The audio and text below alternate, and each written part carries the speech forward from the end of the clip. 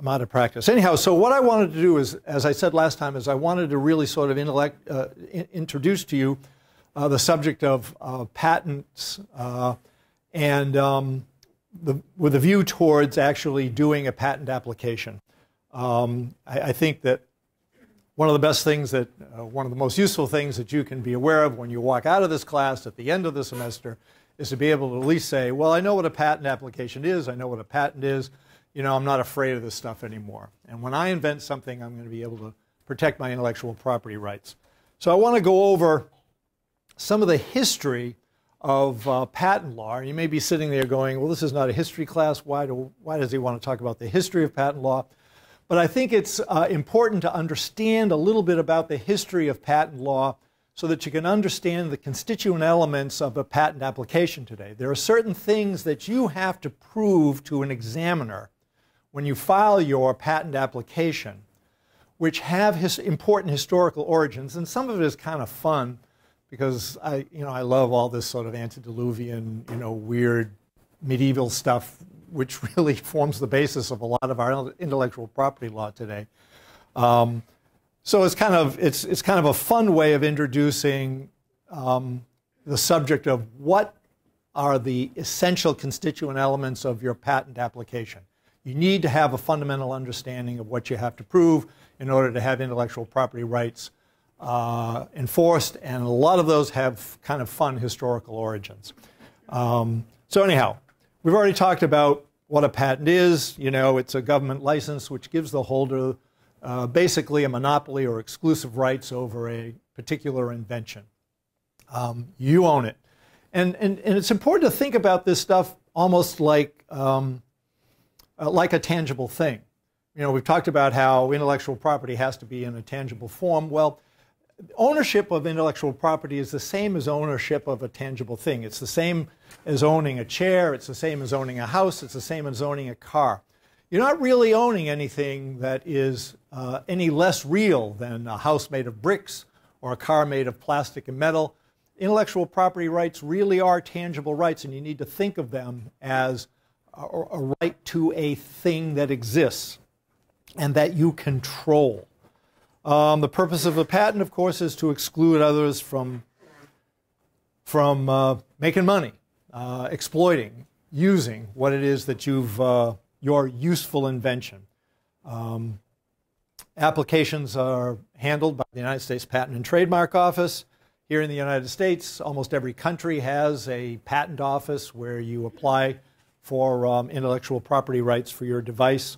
Uh, here, um, uh, uh, we'll, we'll, go over it one day, but there's a, I think I've urged you before to uh, navigate the United States Patent and Trademark Office, the USPTO website. It's really sort of a user-friendly thing. Everything now is done online with, you know, with um, electronic files. Um, in the old days, the, the paper applications are now gone. So anyone who wants to file for a patent, file a patent application now really has to go to the United States Patent and Trademark uh, Office website and navigate it. Uh, and I think maybe one of the, what we'll do maybe next week is we'll put it up on the board and we'll actually navigate it uh, live so that you can see. You can do your, you can do your uh, research of uh, useful art. That is, are there any other inventions like mine? Uh, you can do all the other things that you need to do in order to file an application all online today.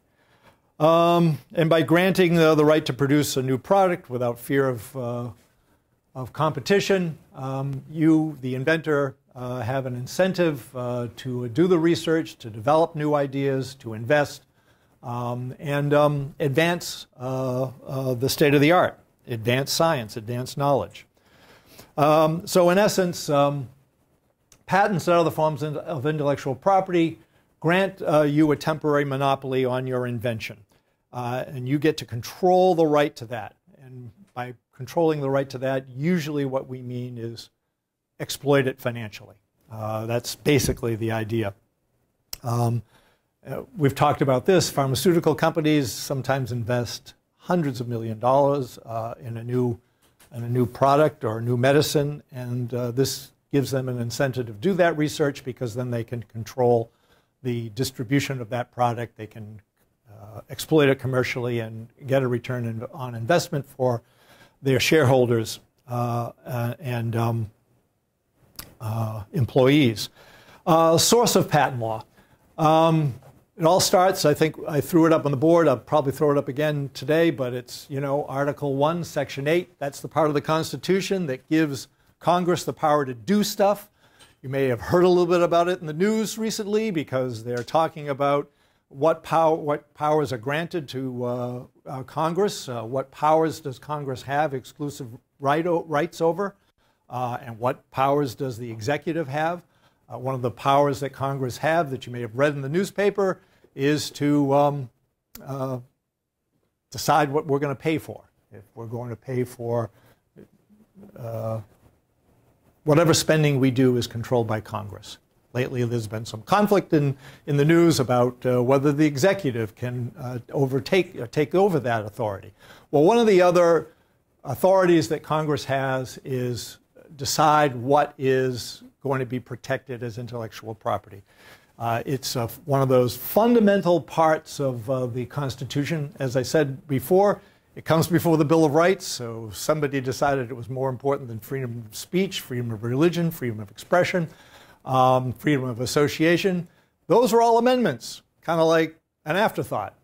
But the founders of the United States Constitution saw fit in Article 1 when describing the powers of Congress to include the right to uh, grant intellectual property rights. And Congress has done that uh, with this series of laws starting in 1790 up to 2011. They've revised the basically the rules of the game, what you have to, the rules you have to follow in order to have intellectual property rights in this country.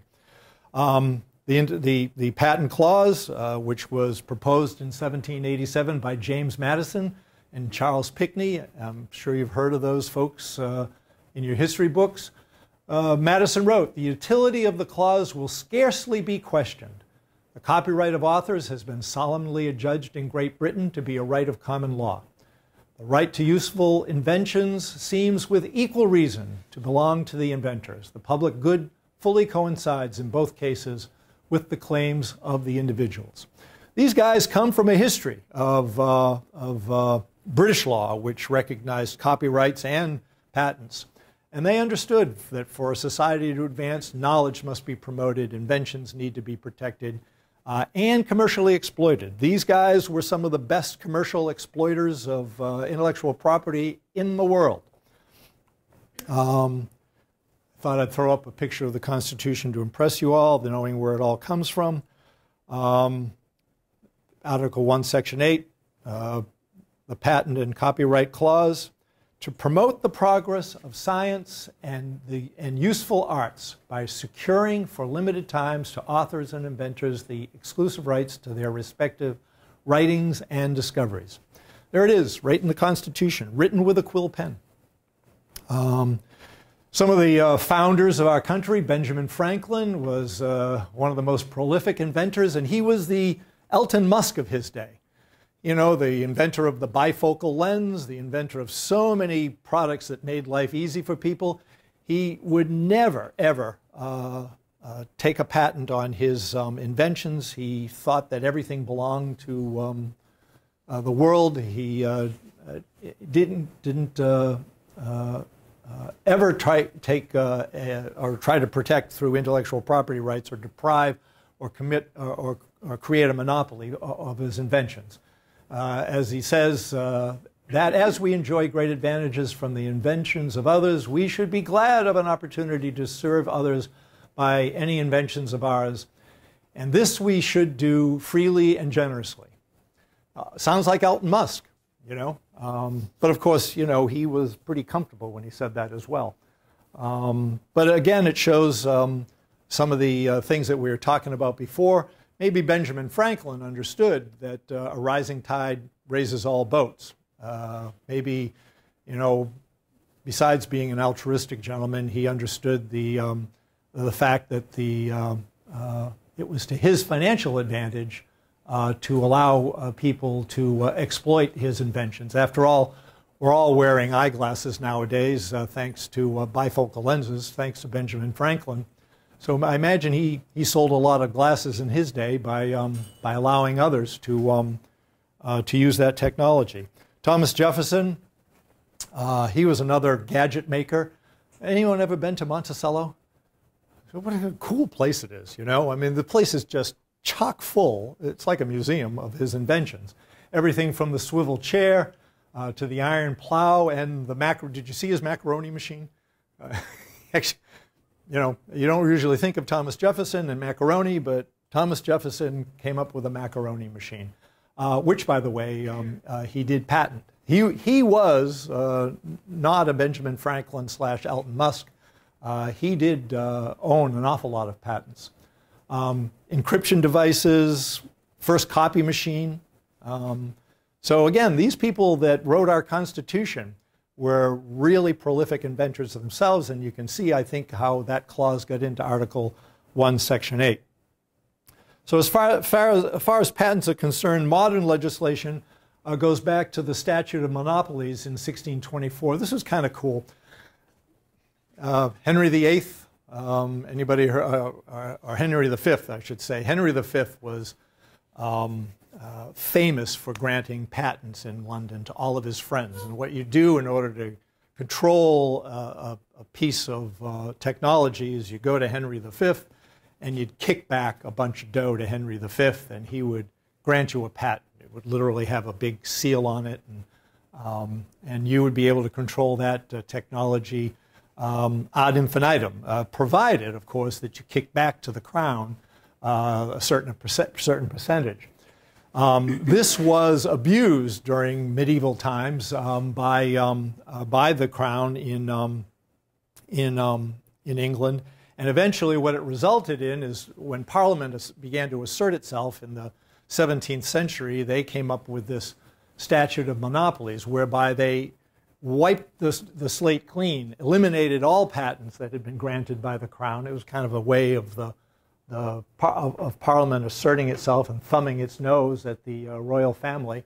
So they wiped the slate clean. Nobody owned any patents. And in order to get a patent, uh, they, they instituted the first formal process for obtaining a patent. You actually had to make an application and you had to prove that your invention was, uh, was uh, useful.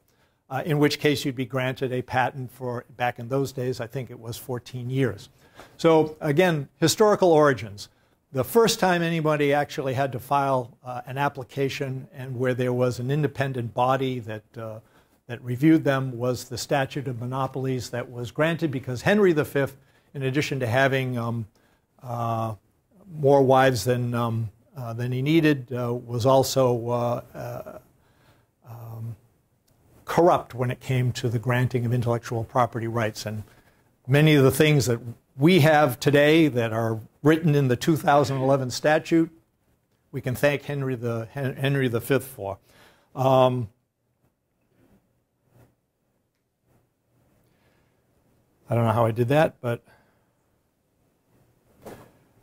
So, um, more historical origins. Uh, the Greeks in 500 BC uh, actually um, uh, recognized certain patent uh, uh, rights. Um, in England, grants in the form of letters patent were originally issued by the king. There he is, Henry V, 1413 to 1422.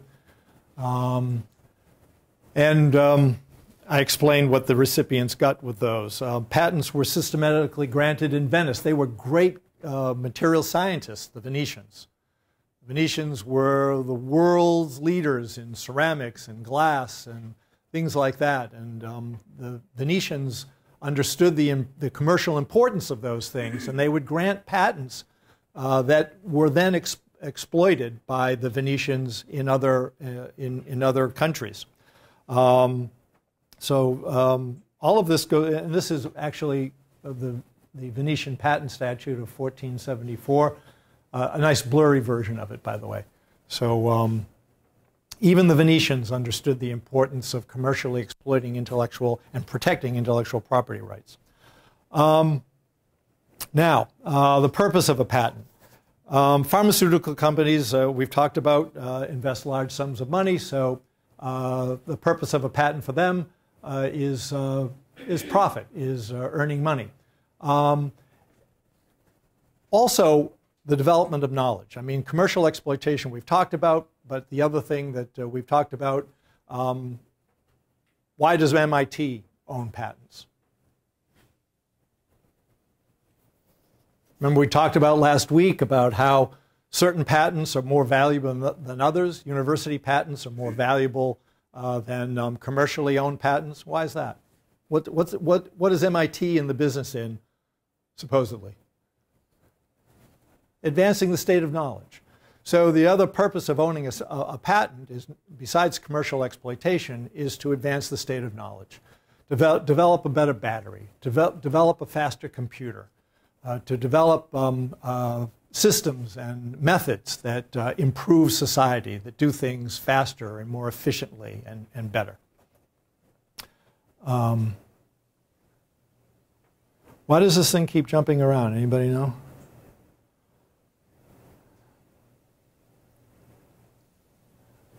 Good thing I know this stuff. Anyhow, um, in, um, in Massachusetts, um, long before the, the uh, Congress recognized patents, we were issuing patents here.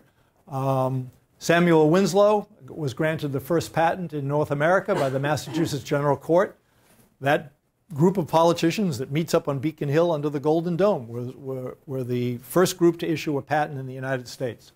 Uh, and I think, as I told you, um, the granting of patents here in Massachusetts was uh, something that was done um, uh, in order to develop industries here, and we, pay, we paid bounties to uh, inventors for stealing technology from England and bringing it here to the United States so that we could exploit it commercially in the mills and in the, in, in the clothing manufacturers the, the, that sprouted up around Massachusetts. The Industrial Revolution here in Massachusetts was fueled on stolen intellectual property, which were granted rights by the Massachusetts General Court. Um, the first patent uh, issued by the United States Congress was um, the first law was passed in 1790 and the first uh, patent was granted shortly thereafter to Samuel um, uh, Hopkins for producing um, potash, um, a method, uh, so a, a, useful process, like the Constitution says. Um, this is, in fact, um, the, this is a, a copy of the, um, of the first patent. Again, kind of blurry. Um, now, the, the Patent Act of 1790 was important because uh, it was the first manifestation of the rules that, of the game for, uh, for um, uh, inventors here in, uh, in the United States. Um, and um, uh, it again it informs what we're doing now here in, the, in 2019. Um, the first uh, patent law uh, granted a term of 14 years. Uh, it was argued at that time that that wasn't enough. Uh, we needed a longer uh, term of patents. What's the term of a patent now? 20? 20. Uh, 14 for design patents and 20 for uh, utility patents. Again, um, the history of this stuff is sort of interesting because 14 years was not enough. Congress came up with 14 years, and there was a lot of pushback and the and the statute was eventually um, was eventually amended. But the, that statute, uh, which only three years later was uh, amended again, uh, contained a, um, a, uh, a, very important definition uh, of the subject of patents, uh, which exists in the 2011 statute. And it states any new and useful art, machine manufacture or composition of matter, and any new and useful improvement on any art, machine, manufacture, or composition of, of, matter. Can you think of anything that doesn't fall within that definition? Um, I mean, if it's tangible, I mean, I can't think of anything really that doesn't doesn't fall within that definition. And it's and it's important. Um, it was important to Congress at the time. It was the broadest definition, again, because what they wanted to do is grant intellectual property rights on the largest uh, um, uh, uh, amount of things that they could again, commercial exploitation, scientific knowledge, advancement. What they're trying to do is throw a very wide net over almost everything. Um, so um, the uh, other important thing um, from the 1793 statute, which informs the 2011 statute, um, is that um, the um, uh, examination process uh, was um, uh, streamlined, and they dropped the clause in the older statute uh, that uh, patented inventions needed to be sufficient, useful, and important. What's the difficult word in that sentence? Who's going to decide what's important, right? Um, you can really narrow the the amount of things that intellectual property rights uh, can protect if you say that only it only goes to important things. And who's going to decide? So that original uh, requirement of importance was dropped. And so now it's just new and useful. And um, also, and that's the not before known or, or used. So all it has to do now is to be useful uh, and not known before. And that's a broad definition. Um, by the way, the first abuse of patent law was also uh, here in Massachusetts. Uh, this company, Boulton and Watt, uh, which uh, patented a steam engine, uh, used to go around the country uh, waving their patent in, in the face of anyone that ever constructed a steam engine, trying to prevent or monopolize all steam engines. So this Boulton and Watt was the first company to go around and, and attempt to create monopolies by the use of exploitation uh, of um, intellectual property. They had a lot of lawsuits, even back in those days, um, in order to try to control that technology. Imagine trying to con control the steam boiler technology. You know, it sounds um, sounds really ancient. Um, we talked about Venice. I'm sorry if this my computer keeps jumping around. I could probably unplug it, make it. This is the uh, 1718, an autocannon. Uh, wouldn't you know, one of the first uh, inventions uh, that uh, we had here in the United States that was patented was a uh, weapon of mass destruction. Um, but an awful lot of patent technology has grown out of um, military, um, military devices, uh, which, by the way, have been exploited in other ways uh, that um, you know uh, uh have been very useful to society. Um, you know, um, can anybody think of a of a military invention that uh, we use every day here? Uh, not to destroy people, well, sometimes to destroy people, but yes, what? Sure, radar for navigation. Yeah, the internet, you know. Um, so that, you know, it's not always. And by the way, this is this this invention, to be fair, was not uh, an invention by the military. This was an invention by an inventor who sold it to the military. Uh, anyhow. Um, then there was the Patent Act of 1836, which created the Patent Office, which we have today. Um, and this, this act was important um, for two other reasons. It, it, it, created a library so that um, anyone who wanted to file a patent in order to demonstrate that it was new could go and look in the library and find out if anybody had ever done it before. Um, so um, uh, in, in, in, the olden days, the patent office used to require you to bring in actually the device. And if you go down there today, they have shelves. I mean, warehouses full of the original patents. You'd have to bring in your thing in order to demonstrate uh, uh, that, you, that you had a protectable right. Um, the other thing that was important is they, um, they extended the, uh, the years of protection to 20 years. Uh, incrementally, first it was 14 years with an extension of seven years. Eventually that became 20 years.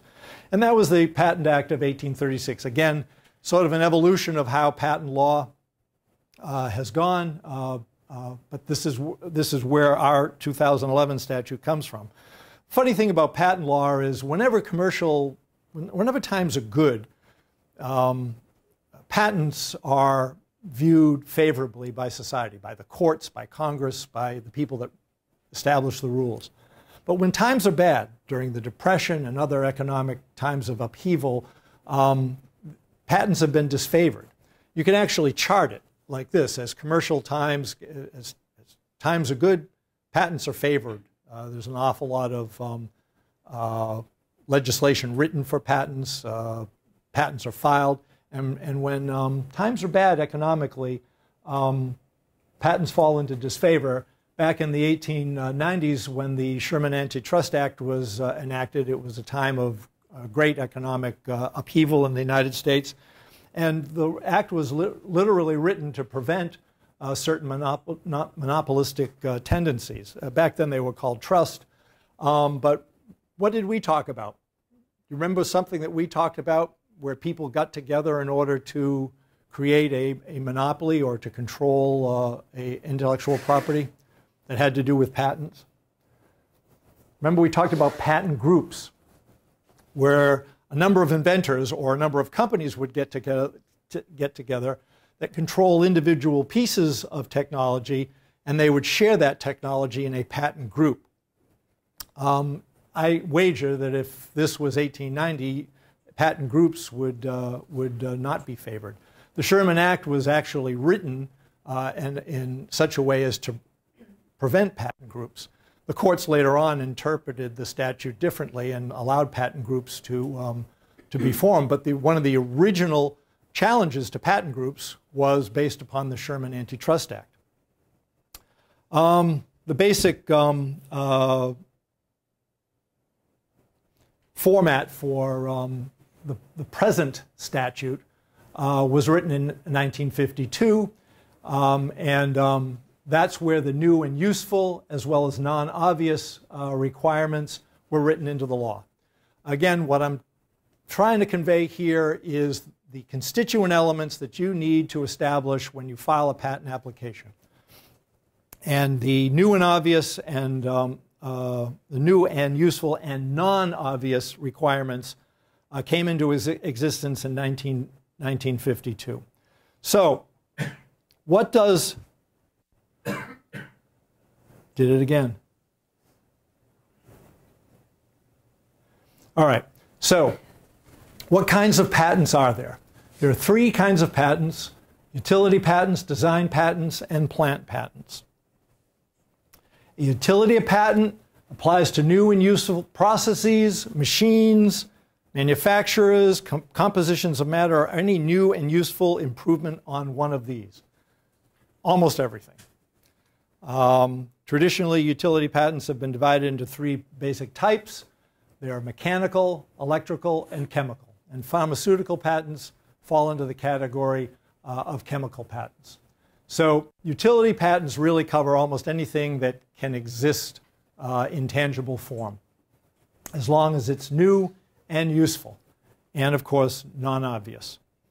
Um, design patents apply to new, original, ornamental designs of an article of manufacture. So if it doesn't do anything, if it just sits there and look good, looks good, does that is that patentable as a utility patent? Why? Exactly. It has to be new and what? Exactly. So for a design patent, it has to be new and useful. And if it ain't useful, it's not eligible for utility patents. But recognizing that there is an intellectual property value to something that just looks good, because companies place a, a great stock in names and emblems. Design patents are, uh, are, are, also something that, um, uh, an example of intellectual property that you can obtain, but they're ornamental. Anybody give me an example of a design patent?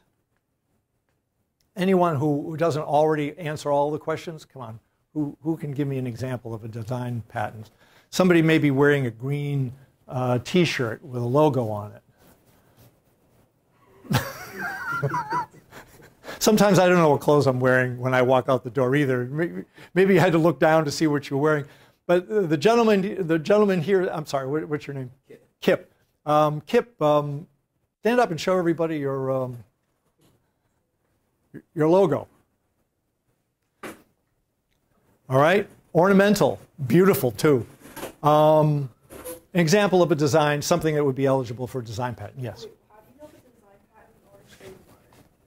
Ah, well, we talked about um, overlapping rights, okay?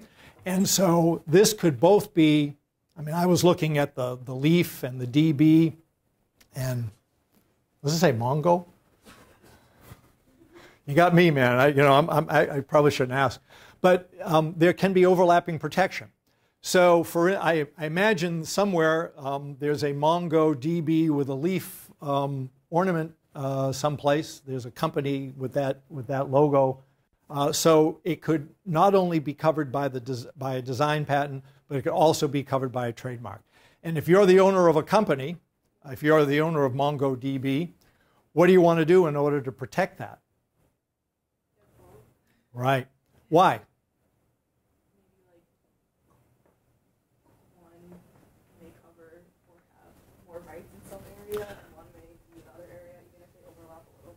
How, lo- how long does a design patent last? How long does a trademark last? Forever. That's right. Exactly. So you want to do both. And, and you know, that's what, one of the reasons why, why I go over the, the, the description of these things and what is included is because these descriptions provided by Congress are so broad that oftentimes um, uh, it can be covered by more than one form of intellectual property. And there are advantages uh, to both. If you're a computer code writer, okay, um, the electromagnetic signals that you convey code in are not patentable. But the actual code in, in, in the, in the, in, in, once it's in the computer is patentable, once it's in a tangible form. But it's also copyrightable. Okay? So, and how long does a copyright last? Oh, come on. It was only a week ago. Forever? 40 years after the. Close enough. 70 years plus the life of the author. Exactly exactly. 40 is, is, is close enough. 70 years plus the like, life of the, uh, of the, um, of the author. Um, and if there are more than, if there's more than one author, it's the, it's the, the, latter. Uh, so um, that is a better umbrella than a patent would be. So, but oftentimes these overlapping protections uh, are necessary. Okay.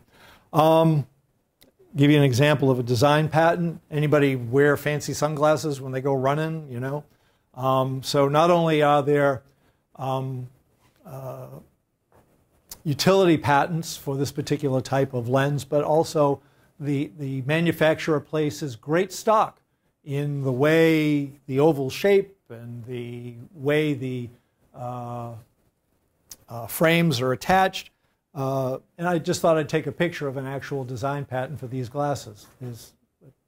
Um, I think you can see all the important parts of an application here. So you have the description, it says eyeglasses up there, and then you have the related uh, patents. So somebody who uh, did this patent application went to the U.S. Patent and Trademark website, looked up similar uh, devices, uh, listed all of the prior art, which you're required to do. Uh, talks about the claims. The claim here, the ornamental design for eyeglasses as shown and described.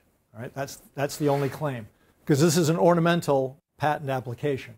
Uh, and the description. Um, that's essentially uh, everything that's required in, a, in an application for a, um, uh, for a design patent. And then, of course, the, uh, the actual picture of it so that there would be no, no confusion. Do you, anyone have any idea how many um, design patents exist uh, for eyeglasses? I did, I, before class, I happened to look it up. I went on Google. There are over 700. 700 separate design patents for eyeglasses or sport glasses. There's differences uh, seem insignificant until you start looking at all the different designs out there. And it's all protectable. Um, one of the reasons why is because, you know, your company puts a lot of stock in goodwill. When they see glasses on somebody, they think of your company. They think of um, uh, your um, company philosophy, the, the Microsoft logo, the Apple logo. Well, glasses and other things like that are as important. The Mercedes Benz star, the Ford uh, uh, uh, uh logo, Coca Cola, Pepsi, all of those things are represent goodwill that is codified in a in an intellectual property right that companies invest a lot of money in and need to protect. Plant patents are a whole separate category. Um, plant patents are generated, are granted to any person who has invented or discovered and asexually reproduced any distinct and new variety of plant, including cultivated sports, mutants, hybrids, and newly found seedlings other than tuber propagated plants or plants found in uncultivated state. Okay? Why is this important? Anybody hear of Monsanto and uh, GMOs and, uh, you know? Um, well, all of those are subject to plant patents. Why? Because Monsanto spends an awful lot of money um, hiring people like you to work for them to do research into new genetic forms of plants uh, that can be commercially exploited. Um, and this is, um, uh, this is one of the um, uh, ways that those intellectual property rights are protected. Um, this is, again, uh, an actual, this is a flower, but this is an actual um, plant patent um, that was uh, granted by the United States Patent and Trademark Office. This is what they look like. They have a picture of the, in this case, the, um, the pretty flower. So requirements for patent protection, to obtain patent protection for a particular form of intellectual property, um, the subject matter must be accepted as patentable under the law. The U.S. and many other countries, scientific theories, mathematical methods, naturally occurring phenomenon, plants uh, or animal varieties, discovery of natural substances are not patentable. So you have to improve on nature in order for it to be patentable. If you find a non cultivated plant and put it together with something that you have, or maybe perhaps another non cultivated plant, so you take two non cultivated plants and put them together, is that something that might be patentable? Does it contain, does it satisfy the requirements? What are the requirements? new and useful. Really broad, really simple. So you take two things that, that aren't necessarily patentable, non cultivated plants, and you put them together, you can create something that's patentable. And in fact, that's the basis of a lot of, a lot of agriculture today, a lot of medicine, a lot of chemical uh, patents are all, all created in this way. You take things that are not ordinarily patentable and put them together. Yes, sir?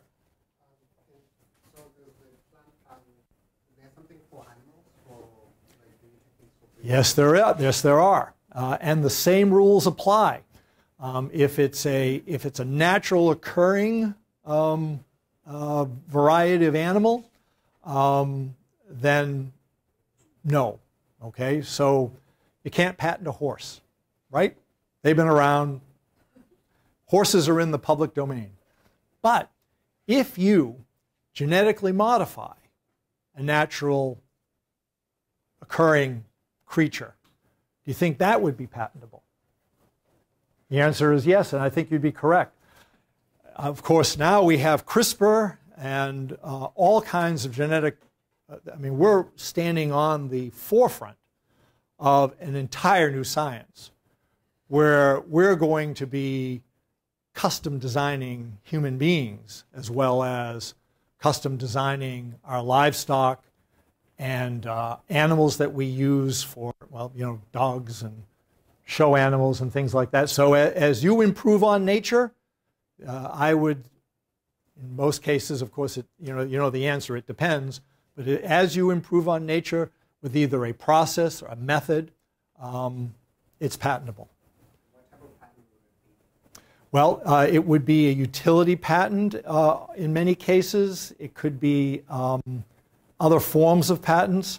Uh, animals are usually, it, it, depends on what you're patenting. If it's a, if it's a uh, method for gene manipulation, it's most likely going to be a utility patent, okay? And what you really want to patent, if you come into my office and you say, I've, I've got a new way of making this dog, um, I think really what you don't want to what's not really that valuable is the is what it produces, but it's the method uh, for for producing it for genetic manipulation. So you want to own that method, and that would be a, a utility patent. CRISPR is a utility patent, the way for um, uh, genetically modifying human beings uh, and uh, other other um, uh, creatures. That's what you want to that's where the intellectual property uh, value is. Why? Because we can program out diseases, uh, we can program in intellect. Uh, what was the, um, um, there, there's a, I just saw a story in the news yesterday um, uh, about uh, uh, genetic, genetically modified twins in China who may have had their intellectual um, acuity boosted accidentally. Um, so we're getting a lot of, you know, we're standing on the forefront of a new, a new, um, a new science, but it all uh, comes under um, uh, patent protection. Um, so here's the requirement for patent protection, just so that you know, and this is this goes to your your patents today.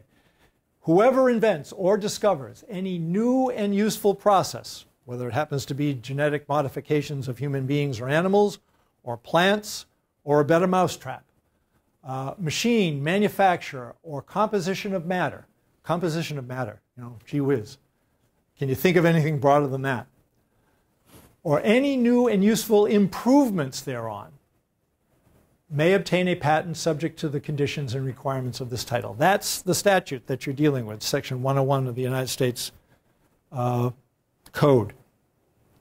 Uh, so it has to be statutory, it has to be new, it has to be useful, and it has to be non obvious.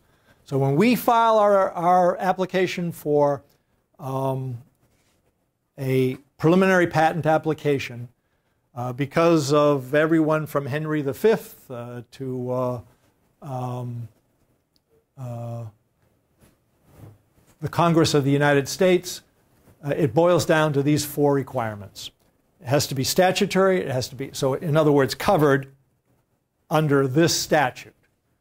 And as far as that's concerned, can anybody think that's not anything that's not covered under this statute? If you can come up with one example of something that's not covered under this statute, I'd like to know what it is. Because what doesn't consist of a composition of matter?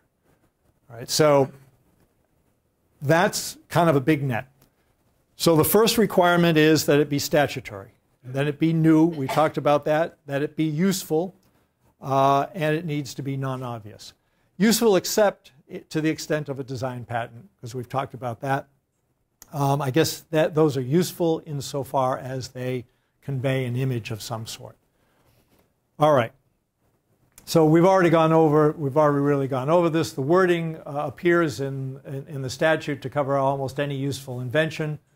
Um, it has the, here in the United States we have the broadest, you know, statute of anybody in the world. I don't know any country that has such a broad statute, uh, and most inventors, including those uh, uh, in the software and computer fields, don't have to worry about whether or not their inventions can be patented.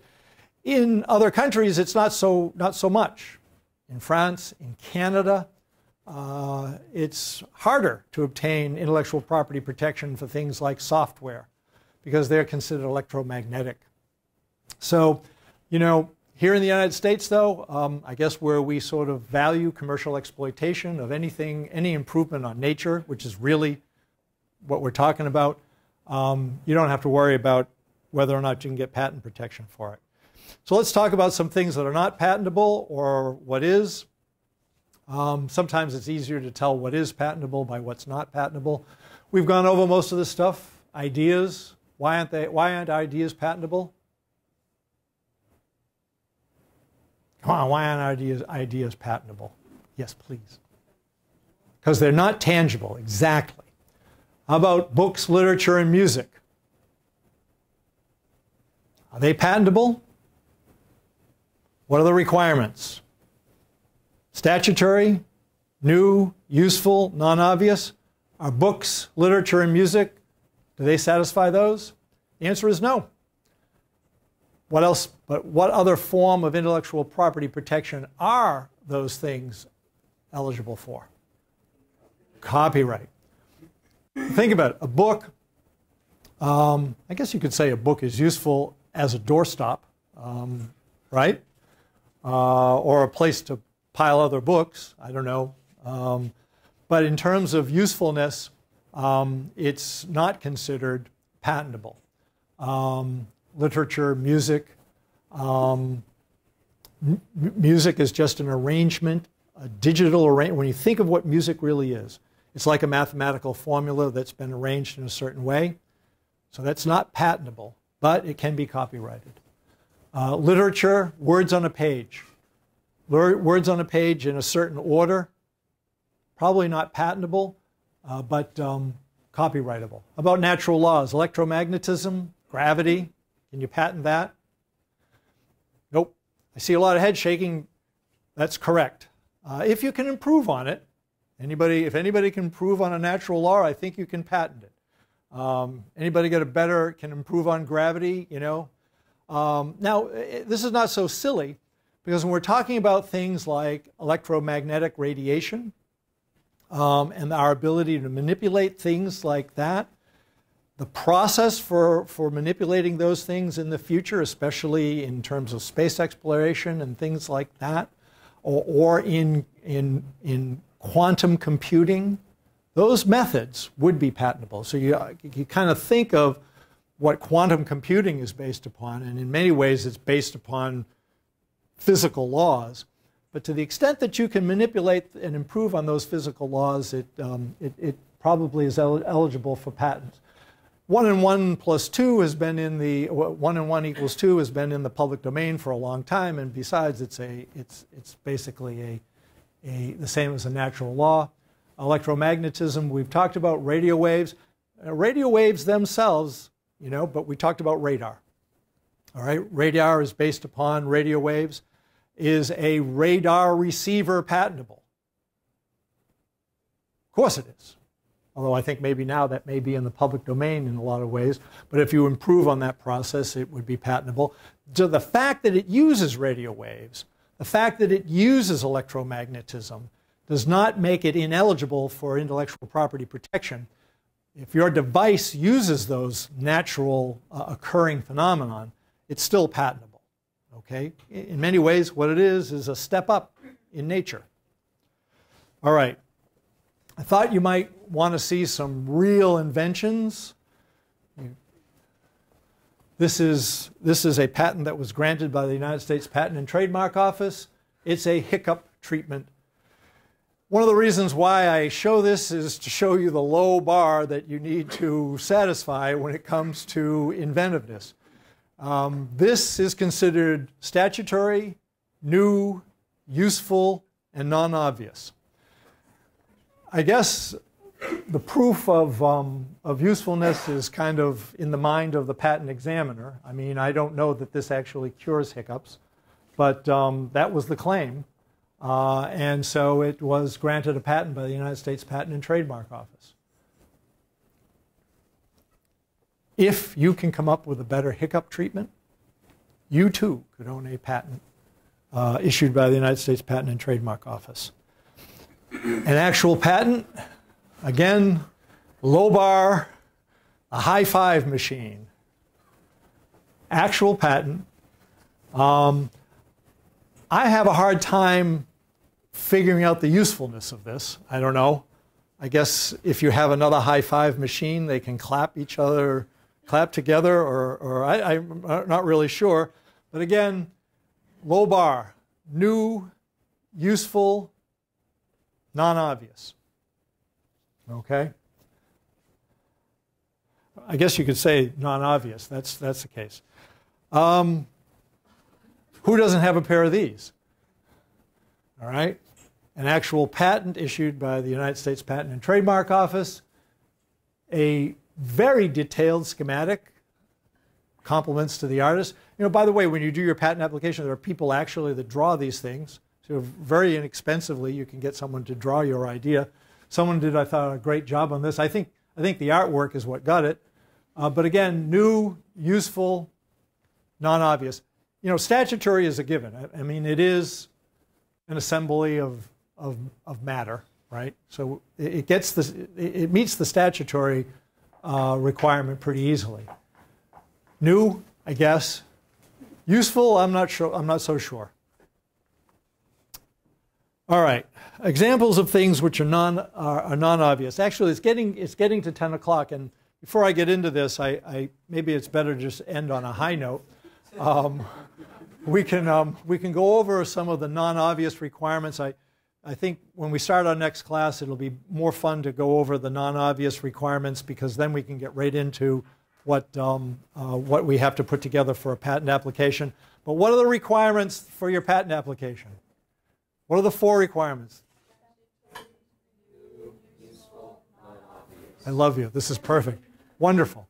You learned something today, right? All right. So I'll see you Friday. More breakfast on Friday. If you haven't eaten, eat something. And um, uh, look out for those uh, announcements from Brian or Professor Eagar because we're gonna, it's time to focus on these, um, these, um, these papers. Um, I, I, I've read all your topics. I can't wait to read every paper. They sound obvious. They really sound absolutely awesome.